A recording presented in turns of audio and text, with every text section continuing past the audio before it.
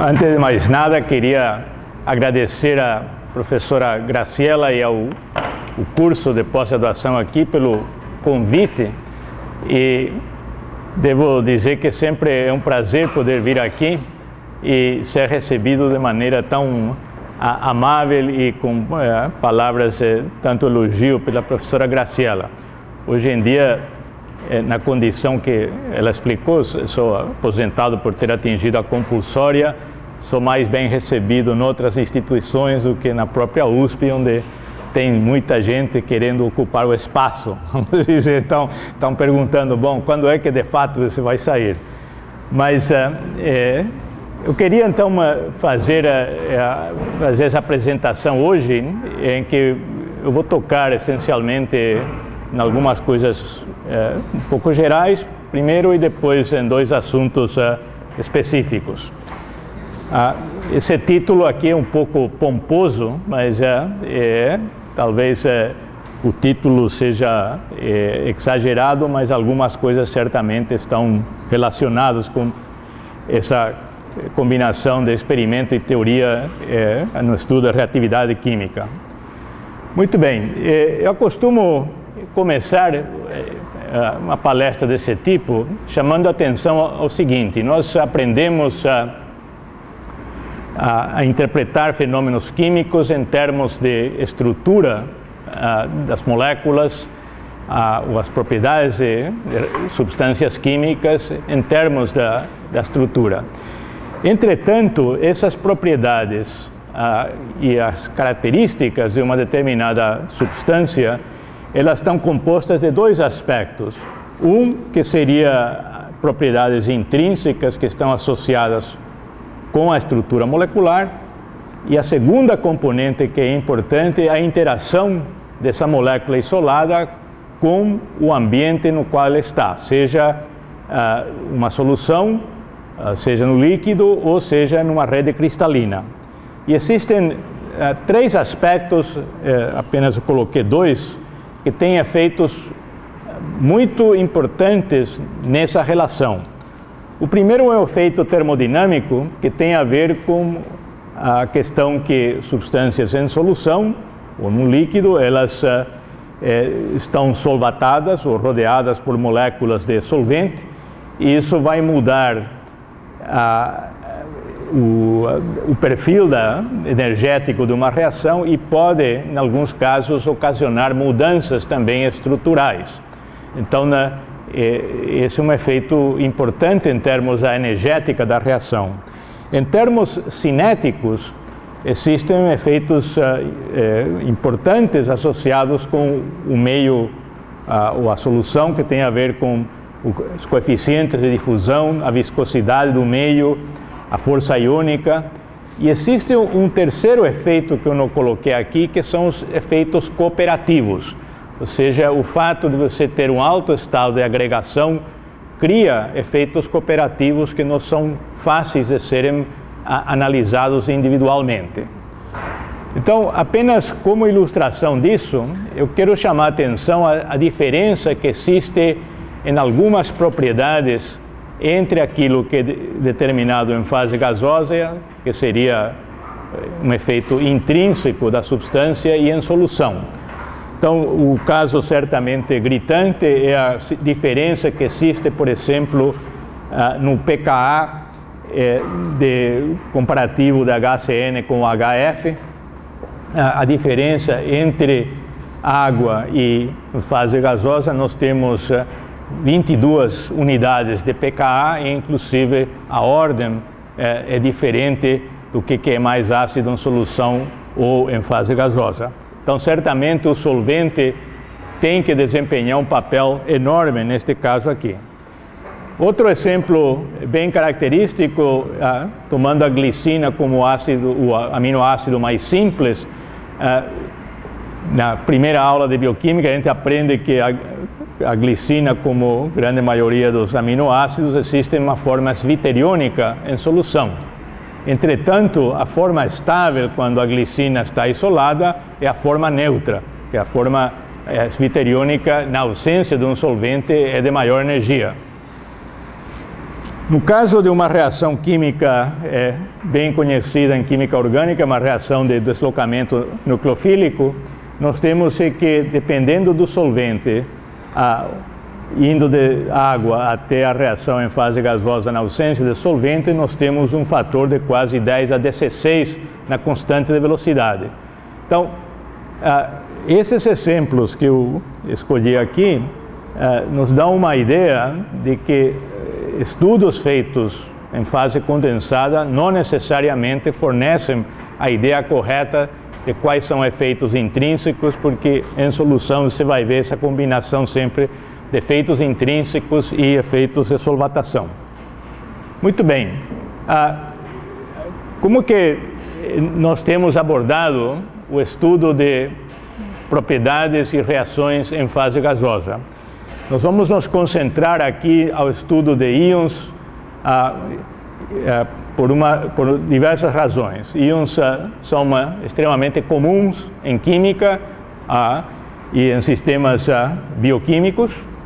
Ah, é possível se estudar de maneira diversa em fase gasosa a química de íons eh, em alto vácuo, ou seja, na ausência de solvente e isso aqui está muito relacionado com o fato de que é muito fácil controlar e guiar íons ah, em condições de alto vácuo com técnicas experimentais que utilizam campos elétricos e campos magnéticos. Isso é muito mais difícil de fazer com moléculas neutras, porque você vai depender exclusivamente do momento dipolar. Aqui você tem uma carga e, portanto, é, é fácil controlar o movimento.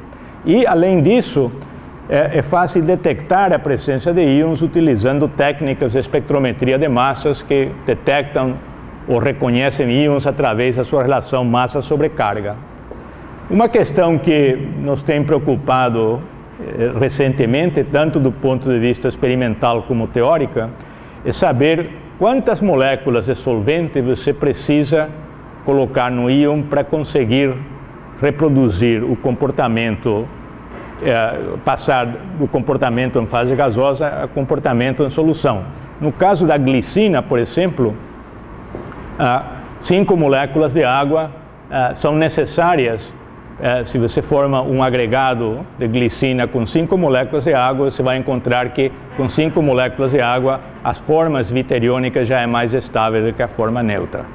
Então, a ideia é essa, se você consegue fazer uma é, progressivamente chegar do limite de é, propriedades intrínsecas até a solução, colocando moléculas de solvente. Ah, essas, uh, o estudo dessas reações nessas condições é muito uh, amigável para serem tratados teoricamente, porque você tem essencialmente uh, pressões muito baixas, você pode tratar o sistema como de moléculas isoladas. Muito bem. Eh, qual é a abordagem experimental que nós temos usado fundamentalmente? Isso aqui é uma técnica chamada ressonância ciclotrônica por íons.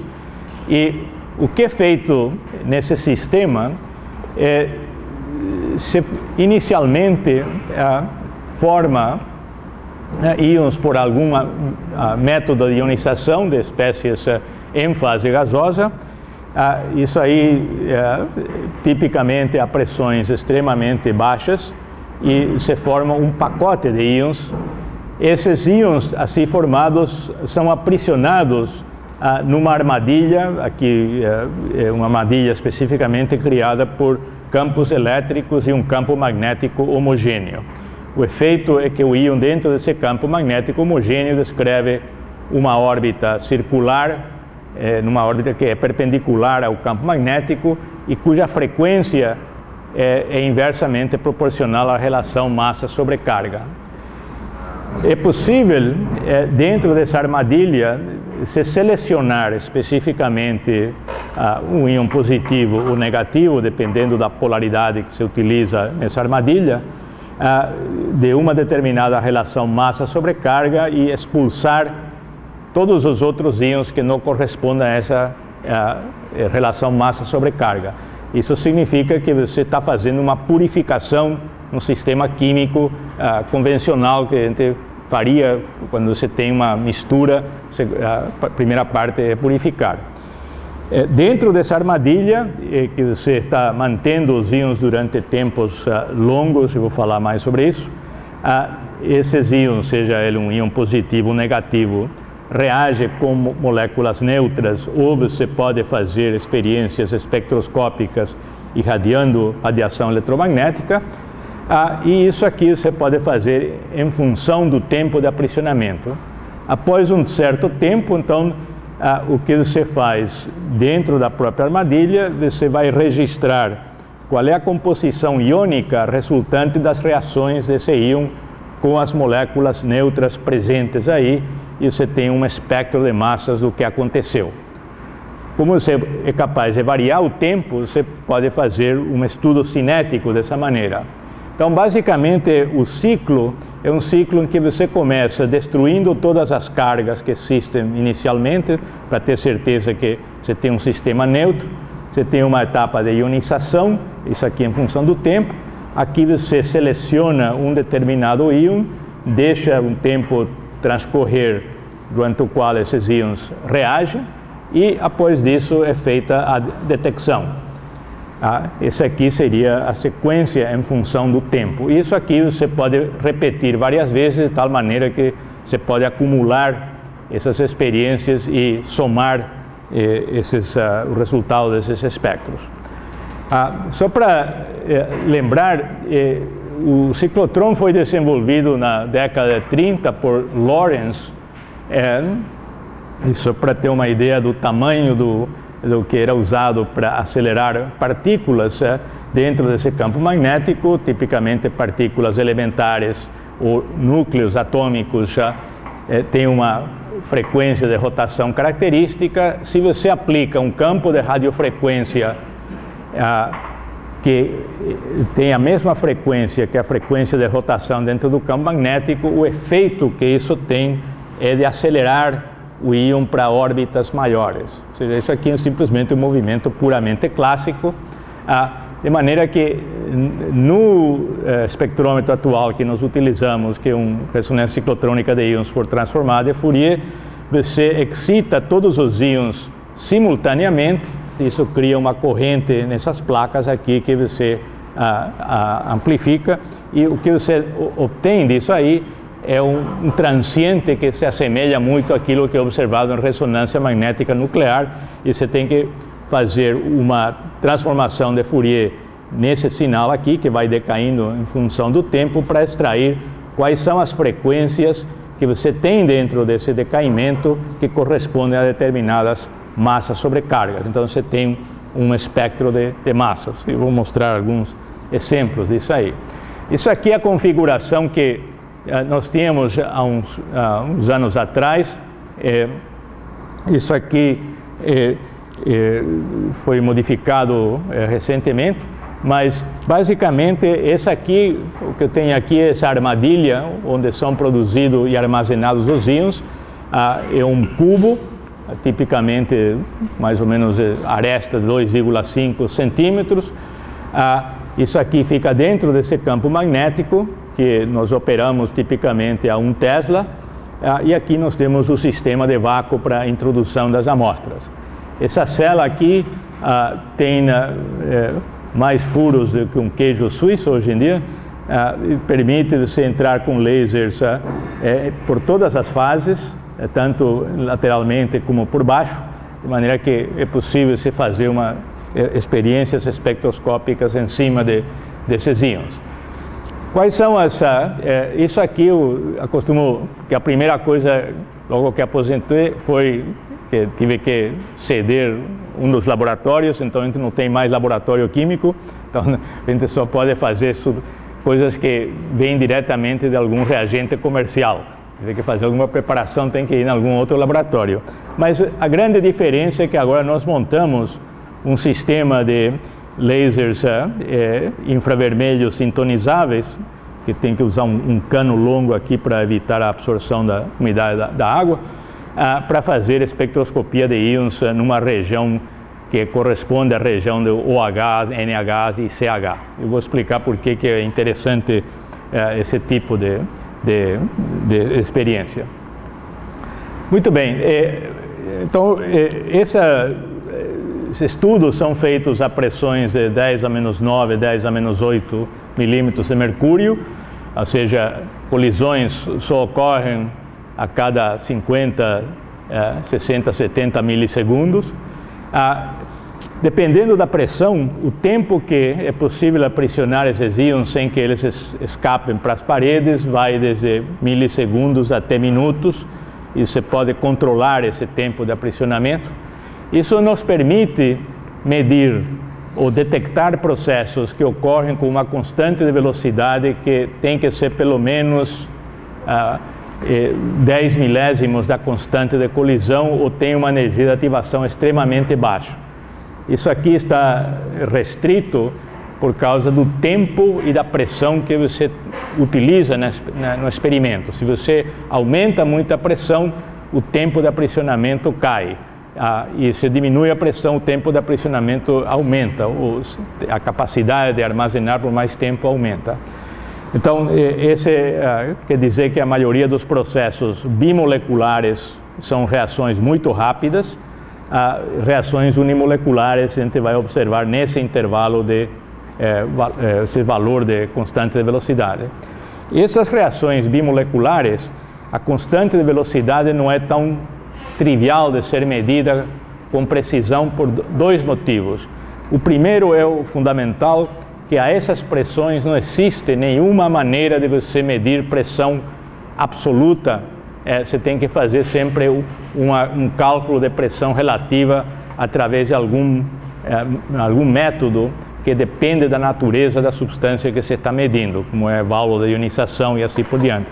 Você tem que calibrar isso a pressões maiores e pressupor que você consegue extrapolar isso para pressões baixas.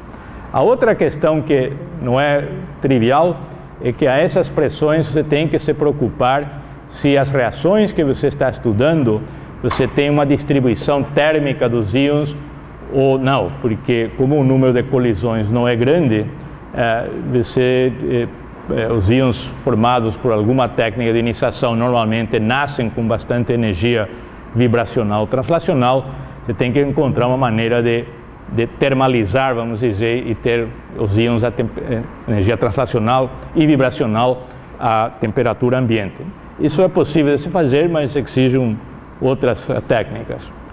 Bom, aqui é apenas para dar um exemplo, aqui eu tenho, por exemplo, ah, o que ocorre quando a gente utiliza tetracloreto de silício, ah, vejam que eh, isso aqui seria um espectro de massas convencional, só que aqui eu selecionei ah, os íons eh, triclorocilil, aqui nós temos a espécie massa sobrecarga 133, que corresponde à espécie com 3 cloros 35, o massa sobre carga 135, 2, 30, 2 cloro 35 e 1 37. Ah, o 137 seria 1, 30, 1 cloro 35 e 2 cloro 37 e assim por diante. Ah, se você deixa essa, eh, esses íons reagirem na presença de amônia a 10 a menos 8 torr, o que você observa após 300 milissegundos uma reação extremamente rápida dentro dessa própria armadilha, onde os cloros foram substituídos por NH2. Então você tem esse íon 133 acaba produzindo esse íon de massa sobrecarga 114, que corresponde a esse íon onde um cloro foi substituído por NH2 ah, e você eliminou HCl. Aqui você tem novamente a distribuição isotópica. Você pode ir a, o 95 corresponde à substituição de dois cloros e eventualmente você chegaria até a substituição do terceiro cloro. Então, é, isso dá uma ideia do que, que é possível fazer usando essa técnica. Bom, eu vou começar abordando um, um problema que tem uma é, interligação grande entre teoria e experimento, que tem a ver com as reações dos nitratos de alquila. E eu vou concentrar minha atenção à reação que seria equivalente a uma hidrólise do nitrato de alquila. É, no caso de nitrato de metila, nitrato de etila, são sistemas relativamente simples, de tal maneira que com os recursos computacionais hoje em dia existentes, é possível fazer uma descrição ah, bastante sofisticada do perfil de energia da reação. O que ocorre é que as reações que são observadas, elas eh, não podem ser muito bem explicadas pelo perfil de energia, eh, conforme eu vou ilustrar. E esse é um caso em que é necessário estudar como de fato a reação ocorre em termos de calcular ou simular a trajetória da maneira como essas espécies reagentes se aproximam uma das outras. Bom, eh, Quais são, qual é a motivação atrás do estudo desses nitratos de alquila? Ocorre que eh, nesses últimos anos eles têm tido um, uh, um interesse crescente, primeiro porque eles uh, são usados extensamente como explosivos, a ideia é como detectarem cada vez uh, melhor em quantidades menores. Ele é utilizado na medicina cardiovascular como um estimulante. Eles têm um efeito importante na química atmosférica, mesmo porque eles são os maiores reservatórios de eh, nitrogênio, eh, vamos dizer, de um nitrogênio só. E eles são gerados tanto em fontes marinhas como em por degradação fotoquímica de hidrocarbonetos na presença de uh, óxido nítrico. Então, existem diversos uh, motivos que isso uh, nos interessou conhecer um pouco melhor a reatividade dessas espécies. Se a gente vai na história que, vamos dizer, sou gente da minha idade que ainda lê artigos de, da década de 50, na realidade, a gente sempre encontra que a gente acha que tem grandes ideias e a gente vai muitos anos para trás, muitas dessas ideias já tinham. E é impressionante como as pessoas, ah, vamos dizer, da época, eh, vamos dizer, em que físico-química orgânica se iniciava, eh, sem nenhum cálculo, tinham ideias muito corretas de como interpretar. Mas, basicamente, nesse estudo publicado na Nature em 1950, se reconhecia que a hidrólise de nitratos de alquila pode acontecer através de três mecanismos diferentes. Um seria o ataque diretamente aqui nesse carbono é, ligado diretamente ao, ao, nitrato, em que uh, o deslocamento acabaria produzindo uh, um álcool e nitrato. Existe, no caso de uma grupo alquila que tem hidrogênios em posição beta, existe a possibilidade de se fazer uma abstração do próton acompanhada de eliminação de, um, de uma olefina e você forma nitrato também.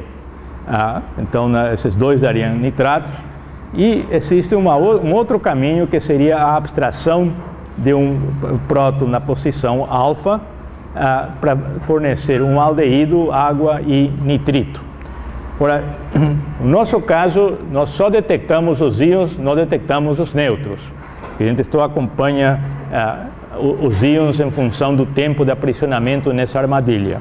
Então, se você faz essa experiência semelhante em fase gasosa, dentro dessa armadilha, o que você observa é que essa é uma reação extremamente rápida, uh, seja em unidades eh, convencionais de cinética, isso corresponde a uma reação que em cinética corresponderia a uma reação controlada por difusão, essencialmente, ou seja, que é uma reação que não tem essencialmente energia de ativação. Ah, e nas condições que nós estudamos aqui, vocês veem que em 600 milissegundos o OH- foi todo consumido e se produz mais nitrito do que nitrato. E essa é a distribuição dos dos produtos.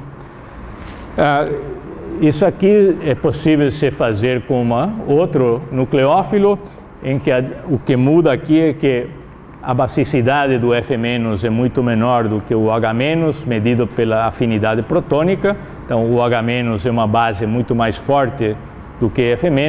Isso faz com que se aumente a, a, a, a proporção da reação de deslocamento nucleofílico ah, e diminua a contribuição daquilo que envolve a abstração do próton na posição alfa. Se a gente vai para o caso do nitrato de etila, vejam que agora o produto principal é a formação de nitrato, ah, que é muito mais favorecido do que a formação de nitrito. Qual que é a explicação para isso? A explicação não é o fato que a reação de deslocamento nucleofílico aumentou, mas é que agora, na presença de hidrogênios em posição beta, você favorece a formação de essa reação, de, do nitrato por esse mecanismo de eliminação.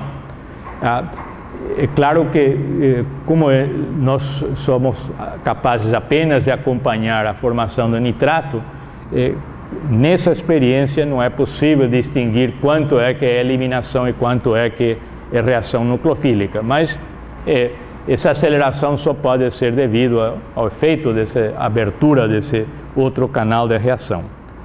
Muito bem, vamos voltar então a essa a reação e, e, chamar atenção a um detalhe que não foi colocado naquele artigo original do, do da Nature. Ah, essa reação de deslocamento de nitrato ela pode acontecer tanto por ataque eh, na metila, como pode acontecer por ataque diretamente no nitrogênio. E, de fato, os primeiros cálculos que, que foram feitos nesse sistema eh, nos levaram à conclusão de que o ataque no nitrogênio seria muito favorável. A gente mapeia o potencial eletrostático do nitrato de metila, isso aqui é o nitrogênio, aqui é o carbono, o que nós podemos é, verificar é que existe uma é, densidade de carga positiva enorme em cima do nitrogênio, de maneira que a, um ataque em cima do nitrogênio deveria se desesperar que seria muito favorável. Claro que existe toda uma região de carga é, potencial eletrostático positivo também em torno do, do grupo metila. Bom, então, qual é a experiência clássica que a gente tem que fazer nesse caso aqui?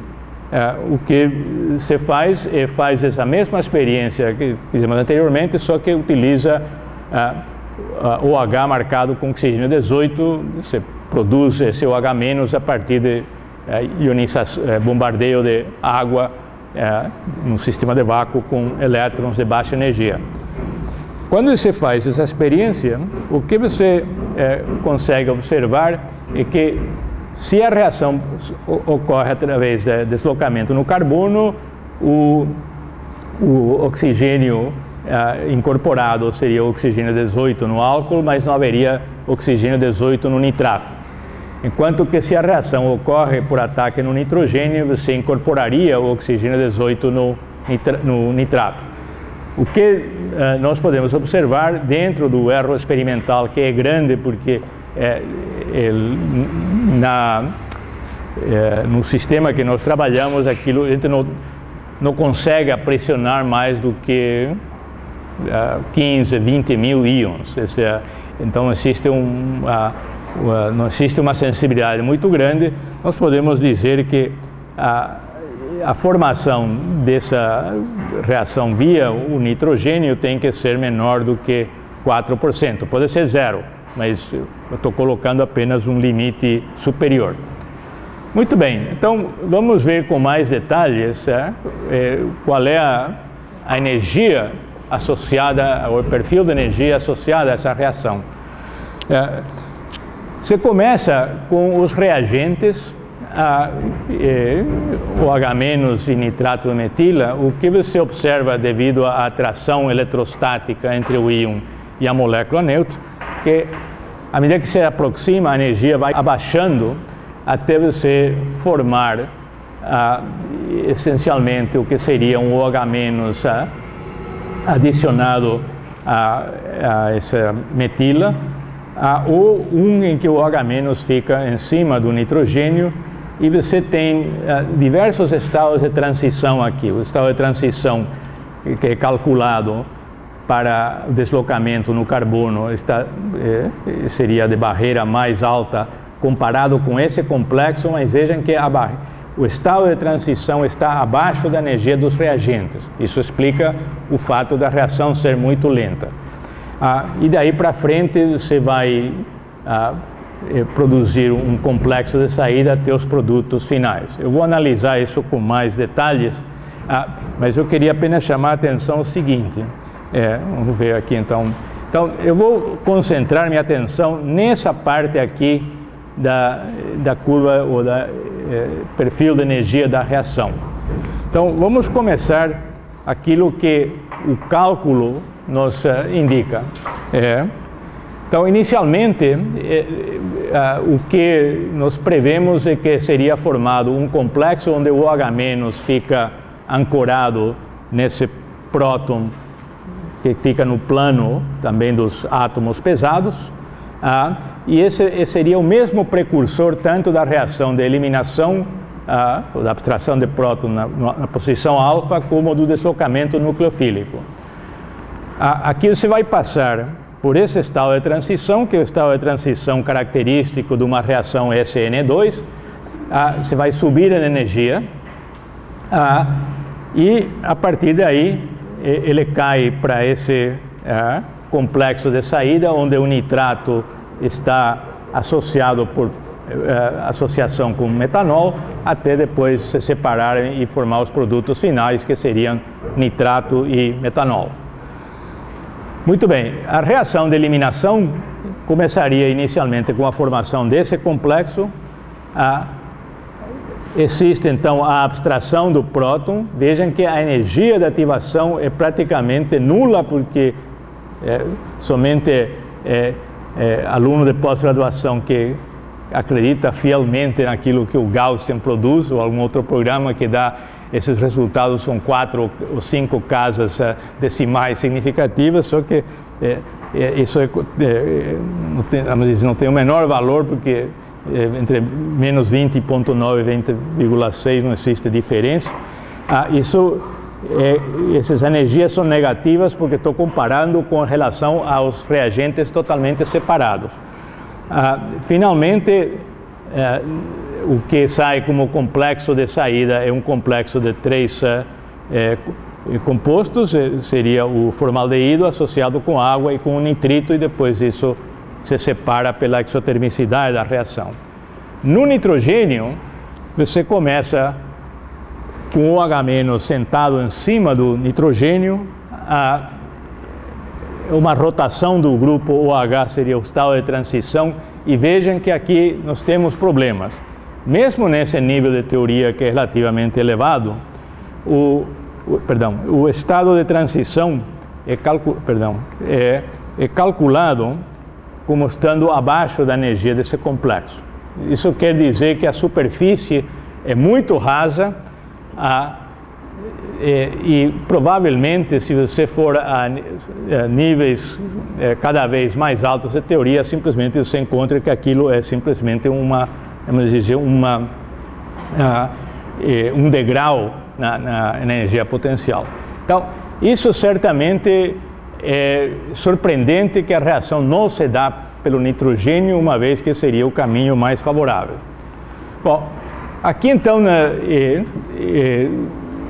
e, com a ajuda do grupo do professor Ricardo Longo, da Universidade Federal de Pernambuco, é, e o é, Miguel de Souza, é, a primeira questão foi pesquisar essa superfície de energia com é, um nível de teoria relativamente mais alto. O que é possível encontrar é que, na realidade, tem né, dois complexos que você pode formar.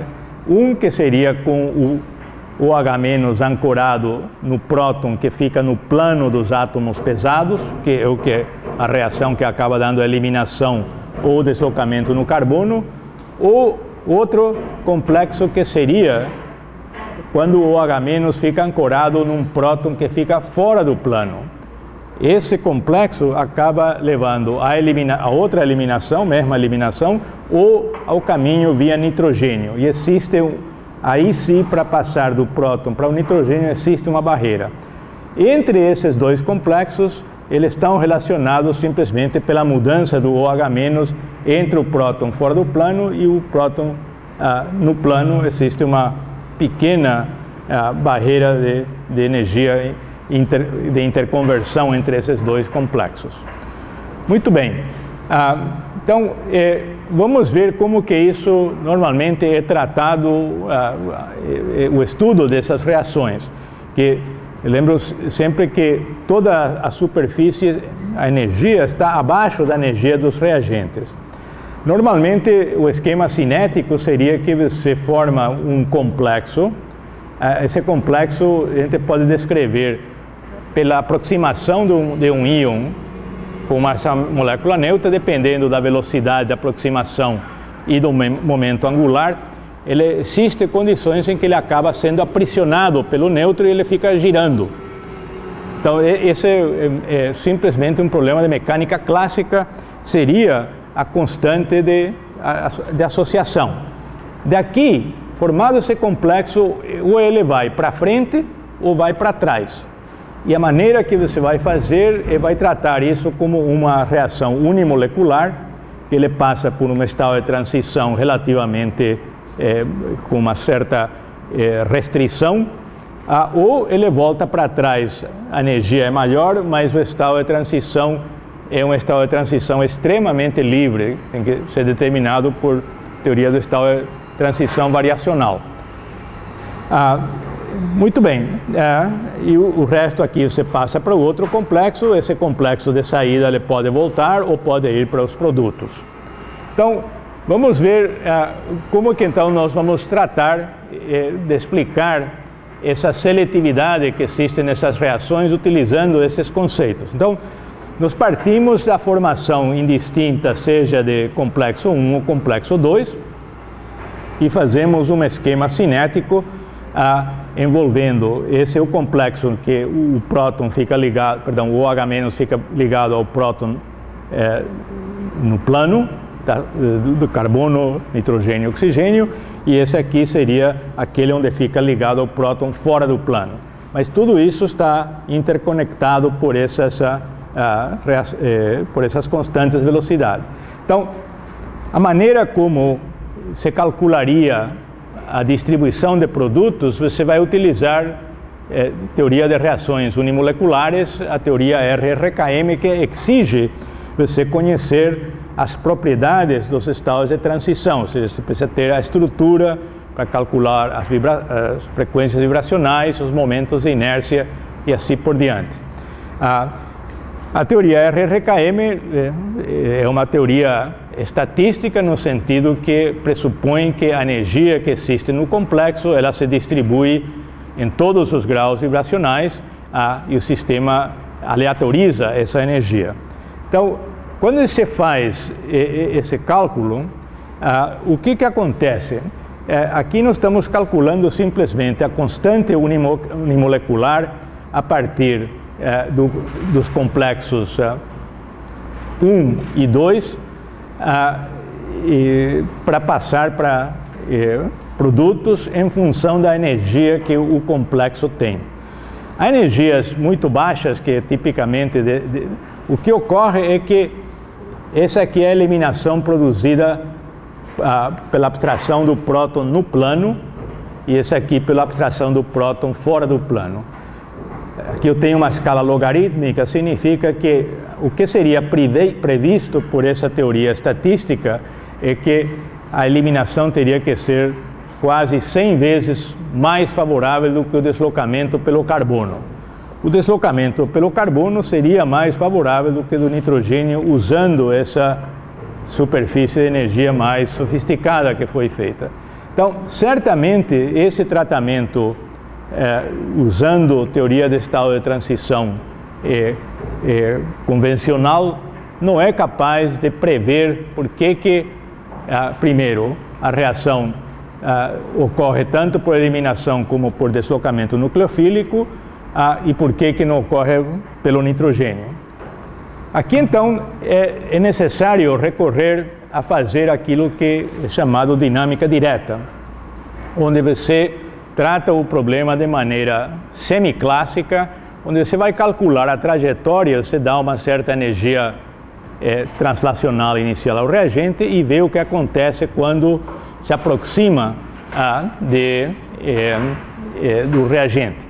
O professor Gerson aqui vai lembrar das, do, eh, mentor dele, o professor Peixoto, gostava de fazer aquelas é, aproximações elétrons com molécula, que é mais ou menos isso aí. Ou seja, você está aproximando o íon da molécula e vê o que, que acontece, se ele é espalhado, se ele é, produz reação ou não. Para fazer uma estatística, um cálculo é, razoável, você não pode fazer isso numa superfície de couple cluster, simplesmente computacionalmente ele não é viável de ser feito, porque você vai construindo a superfície a cada passo que você vai andando com seu, uh, com seu íon. Essas trajetórias tipicamente uh, são de duração de 2 picosegundos. Uh, e aqui eu vou apenas mencionar o resultado de 130 trajetórias com essa energia transacional, que corresponde à energia transacional de 3 meios a, a KT a, a, a temperatura de 300 Kelvin. Aqui sim você começa a encontrar que nesse cálculo de dinâmica você encontra que a relação prevista para deslocamento nucleofílico com relação à eliminação não é muito diferente daquilo que se observa experimentalmente. Vejam que isso aqui é um tratamento semiclássico, porque Nesse caso, o problema da energia do ponto zero das vibrações não é trivial de como você tratar, porque mecânica clássica não existe energia do ponto zero. Ah, esse cálculo também indica de que dessas 130 trajetórias, 3% das trajetórias acabam ah, indo através do, do nitrogênio. A simulação das reações de eliminação é que é interessante ver o resultado, porque Uh, existe essa discussão em química orgânica se uma eliminação dessas por abstração de um próton em beta é um processo síncrono ou assíncrono. E eu vou ilustrar aqui os dois casos.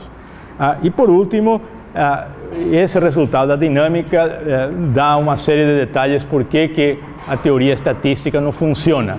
Um deles é que esses complexos não têm tempo de vida suficiente para redistribuir a energia. Portanto, não há aleatorização da energia. Outro é que esse sistema passa pelo estado de transição várias vezes, ou seja, faz um ida e volta, que em teoria de estado de transição convencional é, é, seria uma violação da teoria. Hoje em dia existem modificações da teoria do estado de transição que conseguem é, adaptar essa possibilidade. Então, aqui eu tenho é, o caso da reação SN2, vejam o resultado da trajetória. Então, ele se junta vai se aproximando, faz umas vibrações, mas não faz rotação nenhuma. Vejam que a, isso aqui ocorre mais ou menos em 500 femtosegundos, aí você formou o metanol e o, o nitrato. Agora vamos ver o que acontece no caso em que você faz o OH- atacando o próton na, no plano é, de, de, dos átomos pesados. Aí abstraiu e imediatamente é formado o formaldeído. Então nós temos aqui a água, o formaldeído e o nitrato. Mas a remoção do próton e a formação do formaldeído foi simultânea, ou seja, é um mecanismo síncrono. Se ao contrário, nós vemos a reação por abstração do próton fora do plano, vejam que o que vai acontecer é que a abstração do próton fora do plano ocorre muito mais rapidamente do que a formação do formaldeído. Vejam que o formaldeído só vai ser formado nesse momento agora. Então, essa é uma eliminação de um processo tipicamente assíncrono, onde há um tempo eh, de demora entre a abstração e a formação do formaldeído. Então, isso nos dá uma ideia da, do que a dinâmica de reações pode fornecer uh, nisso, esse, esse tipo de informação. Então, é, em conclusão, o que nós temos aqui que o OH- é capaz de reagir com nitrato de metila, tanto através de mecanismo de eliminação como de deslocamento nucleofílico. Ah, os cálculos prevêem que essa reação através do nitrogênio seria muito favorável, mas não é observado experimentalmente dentro do erro experimental teorias estatísticas, quando a gente chama teorias estatísticas, tipicamente, a teoria do estado de transição, não é muito apropriado para entender por que, que a reação tem essa seletividade. E é na dinâmica que você consegue entender por que, que a reação não ocorre via nitrogênio, é porque o nitrogênio está rodeado pelos oxigênios que têm um potencial altamente negativo. Então, na medida que o OH- se aproxima, esses oxigênios acabam repelindo o OH- e impedindo que se aproxime do, do nitrogênio. Muito bem. Então, eu vou passar agora aqui a, a segunda parte. Ah, demorei mais tempo do que imaginei. Ah, e eu vou explicar como alguma dessas técnicas podem ser utilizadas para estudar a química de reagentes que hoje em dia são muito comuns em química de materiais, tipicamente é, compostos de silício e assim por diante. Ah, então, o mecanismo sol-gel, que é amplamente utilizado, envolve a hidrólise tipicamente de um alcóxido metálico, ah, seja silício, circônio, ah, se hidrolisa isso na primeira etapa e isso é seguido de uma condensação ah, e você tem isso em processos sucessivos. Você pode fazer isso em meio ah, ácido, é catalisado por ácido, é, simplesmente você protona o, é, o grupo alcoxi e a partir daí facilita e é formado esse silanol, você acaba produzindo a condensação. Em meio ácido, a, a química é semelhante, você abstrai o próton, você forma um silóxido, o silóxido acaba atacando aqui e você vai formando essas uh, unidades de siloxano. Muito bem. É, o interesse aqui era saber qual é a química intrínseca associada com o mecanismo dessas reações ah, dentro daquilo que a gente poderia modelar em fase gasosa e se é possível encontrar alguma maneira de controlar isso etapa por etapa. E caracterizar também a estrutura a, energética e o mecanismo dessas espécies intermediárias. Muito bem, aqui nós temos uh, o que, que acontece, eu vou usar para não. É, é, isso aqui é, fizemos com uma série de reagentes, mas o flúor é, é o mais fácil de ser uh, visualizado. É, se a gente reage isso com tetratoxicilana, que é o, realmente o, vamos dizer, a, o átomo de hidrogênio para o pessoal que faz uh, sol gel, é, o que acontece é que a reação se dá por adição do F- para formar um composto hipervalente de silício, ah, ou você desloca etóxido, ou um outro canal de reação que corresponderia ao F- abstrair um próton da, da, etila e formar água mais etileno e esse é, silóxido aqui. O primeiro, então, envolve a formação de um pentacoronal de silício. Ah, essa segunda reação eh, se ocorre por deslocamento direto no silício ou via formação do, desse pentacoordenado, uma pergunta que precisa ser respondida. E essa terceira reação que é mais difícil se é uma eliminação direta ou também passa pelo pentacoordenado. Se você muda o seu nucleófilo aqui, e muda é, com menos é, grupos alcoxi, e aqui é, você tem essencialmente a, a, mesma situação. Você forma o pentacoordenado, você tem esse canal de eliminação. Agora, quando você faz essa mesma reação com um composto semelhante de germânio ou titânio, em fase gasosa, aqui o tetratoxi é, germânio e aqui o titânio isopropóxido, que normalmente é utilizado para fazer precursor de dióxido de titânio em processo sol-gel, você só vê a formação do íon pentacoordenado. Ah, é, seja, aqui você tem todos os isótopos de germânio, que são cinco, o titânio tem é, vários, mas são pouco abundantes e por isso que aparecem esses uh, sinais aí é, acima de 300 unidades de massa sobrecarga. Agora, é possível fazer química em cima disso, se além do uh, precursor do F- e do uh, alcóxido você introduz uma substância com BF3, aqui nós temos começando com o uh, composto uh, pentacoordenal de titânio com um, um flúor, por sucessivas reações com BF3, você vai substituindo um isopropóxi por um flúor sucessivamente até chegar em 5, ou seja, esse é um espectro registrado após um certo tempo de reação em que você tenha cinco espécies presentes aí. E esse é um mecanismo que envolve uma troca extremamente rápida e eficiente de grupos isopropóxi por flúors do, uh, uh, que tem a ver com uma. Você passa o, um isopropóxito para o, o boro e o boro retribui mandando um flúor de volta. Você acaba com essa espécie aqui, que é uma espécie extremamente estável, esse pentafluoreto de titânio, eh, já que a energia de ligação de fluoreto no, no tetrafluoro eh, titânio é de 82 quilocalorias eh, por mol. Ah, muito bem. Agora, eu quero chamar a atenção de um sistema que, mais recente que a gente estudou. Ah, novamente, aqui nós estamos, ah, esse aqui é um ah, alcoxicilana, só que é trimetil etoxicilana. Aqui nós temos ah, ah, eh, vários produtos, mas eu vou me concentrar especificamente na formação de, ah, desse trimetilsilóxido. Essa reação é ligeiramente endotérmica se eu assumo que os produtos de reação são HF e etileno, mas ela é bastante exotérmica se eu pressuponho que a reação produz fluoreto de etila por deslocamento nucleofílico. Volto a insistir, a gente não sabe quais são os nêutrons porque não estou medindo os nêutrons, só vejo os íons.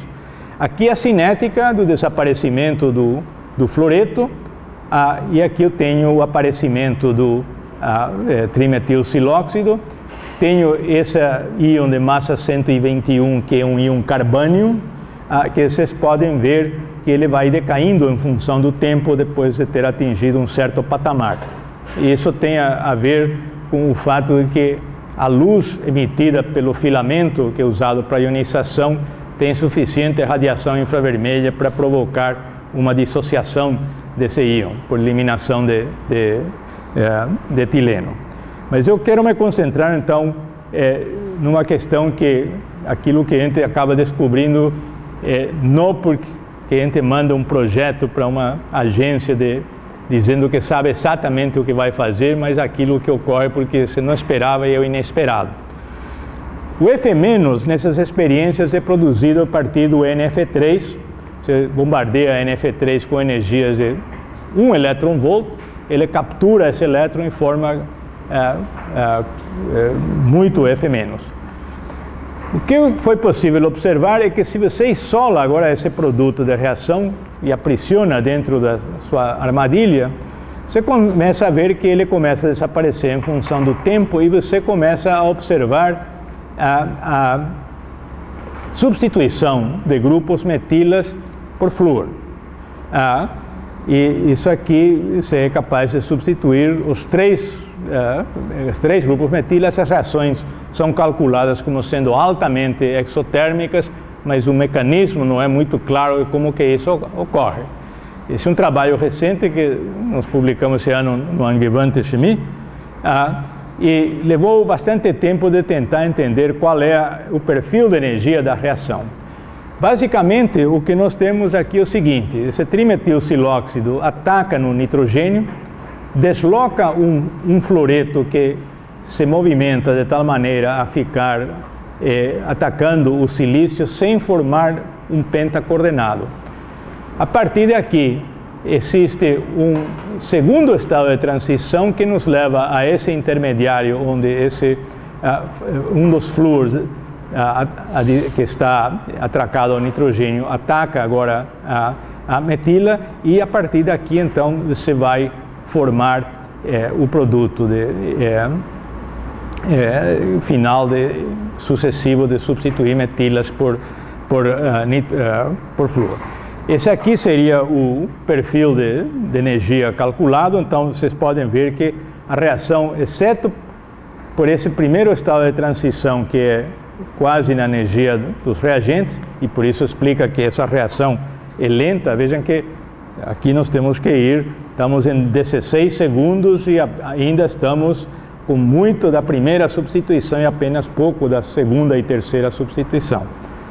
Muito bem, ah, eu não vou ilustrar todas as geometrias disso aí, mas pelo menos a gente consegue explicar com esse perfil de energia ah, como que ocorre isso aí. A gente utiliza, agora ao invés de NF3, utiliza SO2F2, o que está em vermelho é aquilo que seriam os produtos que já conhecemos o que, que são. Mas aqui também começa a aparecer uh, íons de massa 77, 85, que correspondem a esses íons aqui, ou seja, íons uh, negativos de silício. Uh, e até agora nós não temos uma ideia muito clara de como é que eles são formados. Então, é, isso aqui vão ser cenas dos próximos capítulos. Né? É, muito bem, a última parte, é, eu vou falar um pouco agora de uma técnica que é possível se utilizar nessas experiências em que você consegue dissociar esses íons utilizando é, radiação infravermelha. E basicamente isso aqui corresponde a uma excitação dos íons através é, de excitação sequencial vibracional, ou seja, uma absorção de vários fótons. Isso é possível por causa que o seu sistema está armazenado a pressões muito baixas, então as colisões são poucas e pouco frequentes. Ah, é necessário utilizar uma fonte de infravermelho, tipicamente um laser de CO2 é suficientemente potente, mas você pode utilizar aquilo que chamam um oscilador óptico paramétrico, que é o que estamos instalando aqui. Ah, e, logicamente, para esse processo funcionar, o íon tem que ter ah, uma banda de absorção coincidente com a, a frequência do, do, laser que está sendo utilizado. Ah, isso aqui depende do número de modos vibracionais ah, e ah, também da quanta energia ou quantos fótons é necessário dar ao íon para se fragmentar. É, é possível que para íons pequenos essa dissociação ocorre quando ele chega no primeiro é, limiar de dissociação, cada fóton vai sendo absorvido lentamente, quando chega no, no é, limiar de dissociação, a molécula, se, o íon se fragmenta. Você usa isso com é, biomoléculas, que é muito utilizado também, por causa do tempo que leva a energia se distribuir até chegar na coordenada de reação, esse processo não necessariamente vai pelo canal de menor energia, mas pelo canal de eh, eh, menor eh, eh entropia de dissociação. Ah, muito bem, então eh, o, que acontece nesse processo é que o primeiro fóton tem que ser ressonante, ou seja, tem que haver uma absorção vibracional num modo vibracional, que ocorre a partir dos primeiros mil centímetros a menos um, no caso do laser de CO2, você começa a ter um número enorme de estados vibracionais que vão coincidir com mil centímetros a menos um. De maneira que a partir de aqui, você não está absorvendo energia no mesmo modo vibracional, mas pode ser em qualquer combinação de modos vibracionais e aquilo que é chamado a região do quase contínuo, até chegar na, no limiar de dissociação e aí você dissocia. Então, a experiência basicamente é, da maneira como era feito com um laser de CO2, nós temos um obturador que permite controlar o tempo que os íons ficam ah, é, sobre a, a, ação do laser. Ah, usando um laser contínuo, é possível fazer a cinética da fotofragmentação ah, é possível obter o espectro infravermelho do íon simplesmente acompanhando, variando ah, o comprimento de onda do laser. O laser CO2 tem uma, uma, região muito pequena que você pode varrer. Nesses osciladores, esse OPO aí permite varrer desde 2.400 a 4.000 centímetros a menos um com um cristal. Ah, e também aqui permite fazer uma maneira de sintetizar novas espécies que não são muito fáceis de serem isoladas, seja em, em fase condensada, seja em fase gasosa. Muito bem, então vejam vocês aqui, eh, se nós começamos com esse uh, íon pentacoordenal de silício, essa é a estrutura calculada e é sempre importante lembrar que nesses compostos de silício, germânio, titânio, quando você forma um complexo pentavalente, o grupo mais eletronegativo sempre fica na posição axial é, e, e, e, não na posição equatorial. Ou seja, a posição axial no flúor é mais estável do que encaixar. Isso aqui é uma, essencialmente uma bipirâmide trigonal distorcida, mas é, se aproxima bastante disso aqui.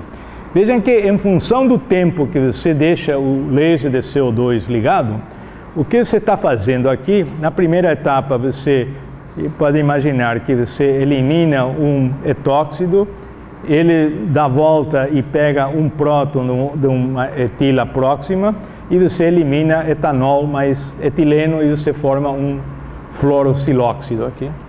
Só que enquanto você tiver esses grupos etila e você continua irradiando dentro da própria armadilha, você vai evaporando etileno até chegar numa espécie que seria essencialmente um ácido, seria a base conjugada de um ácido fluorocilícico. Certamente não é uma espécie que você consegue é, é, isolar muito facilmente em fase condensada.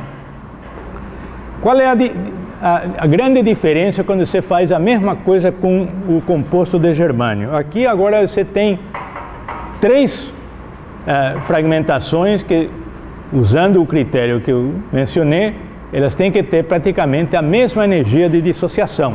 Você forma esse uh, germanóxido, você aí íon germílico e você forma esse flúor uh, germanóxido. E essa aqui é a proporção que, ou seja, não há muita diferença nas proporções disso aqui. Então, é, é, por sua vez, e usando novamente o mesmo critério, você vai conseguir sucessivamente uh, eliminar etileno a partir desses grupos uh, etóxidos, etóxi, perdão, o que a maneira de explicar é o seguinte, que se a gente calcula a dissociação dessa espécie para liberar um fluoreto ou um etóxido, a energia calculada é praticamente a mesma. Então quer dizer que por excitação dessa espécie você pode dissociar tanto um fluoreto como um etóxido ele volta para trás, a, pega um próton do grupo etila e elimina HF mais etileno ou é, se você desloca o etanol, você forma etanol e você um etileno. Mas o interessante aqui é novamente essas é, dissociações que você consegue fazer a, e a, progressivamente ir retirando moléculas de etanol e etileno ou simplesmente de etanol. Você tem uma maneira de sintetizar ânions ah, que não são é, muito fáceis de serem observados em solução, porque essas espécies são extremamente reativas. Ah, agora, nós temos aqui um problema que não é muito comum com íons negativos ah, que eu escrevi dessa maneira, mas não é óbvio quando você parte dessa íon aqui, você elimina etanol, qual é o íon que você forma? No fim das contas, tudo que nós fazemos é medir massa sobre carga. Então, uma maneira é você calcular, é, por métodos de cálculos é, é, teóricos, o que, que seria mais estável. É, o mais estável é o íon germílico, será o íon negativo a, é, a, carga fica no germânio e você for tem um grupo OH, um grupo OC2H5 e aqui tem um o é, é, CHCH2. Agora, isso não quer dizer que seja essa a espécie, porque depende do mecanismo da formação disso aqui. Então, esse é um caso onde a espectroscopia vibracional desses íons acaba sendo importante para saber o que, que você tem e qual é a estrutura dessas espécies. Então, esse é uma área em que a gente pretende é, se, a, aprofundar um pouco mais. É possível fazer reações ácido-bases para determinar qual é a acidez dessas espécies? E para fazer isso, nós vamos fazer reações ácido-base em fase gasosa. Você vai reagir esse ânion que nós temos uh, formados aí com um ácido que tem uma energia de dissociação heterolítica bem conhecida. Então, para saber se ele é capaz ou não de abstrair um próton. O que a gente é, é, concluiu é que é, esses germanol, vamos chamar assim, eles estão, a acidez disso aqui está entre o ácido acético e a, o, a, o paracresol. Uhum. E aqui nós temos uh, há uma diferença entre o valor calculado e o valor experimental que uh, ainda está é, no objeto de discussão, porque, especialmente o caso do flúor, é, a diferença é bastante grande entre o experimental e o teórico. Mas também existem reações que nós podemos ah, é, trocar esse oxigênio produzido então por dissociação multifotônica, reage com H2S e ao invés de termos o germanóxido, agora nós temos o germano tióxido. Isso é simplesmente ah, simples entender em que o H2S, perdão, o, o germanóxido ataca o enxofre, o H2S, isso aqui transfere um próton e você pode então dissociar ou água ou etanol e você forma essas espécies. Então, é uma maneira que você consegue fazer uh, química também, uh, e isso é possível porque o H2S é ligeiramente menos ácido do que é, é, essas espécies. Então, é você não abstrai o próton diretamente, mas o próton pode ser remanejado de um lugar para outro. Ah, aqui um caso em que você vai conseguir ver o espectro variando o comprimento de onda do laser de CO2. O que você observa é, em função do comprimento de onda, a dissociação dessa espécie. Aqui eu peguei o caso mais simples, que é com não, flúor tetrametóxido, vocês vejam que ah, você tem uma, é, o, o laser CO2, ah, você consegue sintonizar entre 920 até 990 centímetros a menos 1 e de mais ou menos 1025 a 1085. Então não tem nada de absorção aqui, você tem ah, nessa região. É claro que isso é um espectro, vamos dizer, extremamente numa faixa muito reduzida, mas a ideia é essa aqui. Você vai detectar a absorção quando provoca uma dissociação. É uma maneira indireta de você registrar um espectro vibracional de íons e espero que é, ter mais uh, coisas para relatar sobre esse tipo de experiência no futuro. Ah, por último, eu vou rapidamente vou apenas falar um pouco sobre uh, essas reações do íons uh, positivos de tetra, perdão. Eu tinha mostrado como exemplo com amônia. O caso de água é talvez o caso mais interessante porque isso ocorre com muita rapidez. Esse íon triclorocilil na presença de água, você vai substituindo cloro por água. E o mecanismo dessa reação é extremamente simples. Se o, o, o, o, silício com a carga positiva ataca no par não compartilhado do oxigênio e a partir daí você elimina HCl, tem um é, é, perfil de energia muito favorável. O que é particularmente curioso nesse caso é que esses íons hidrolisados eles reagem, por sua vez, com tetracloro de silício para formar ah, uma ligação silício-oxigênio-silício, ou seja, você vai polimerizando isso aqui.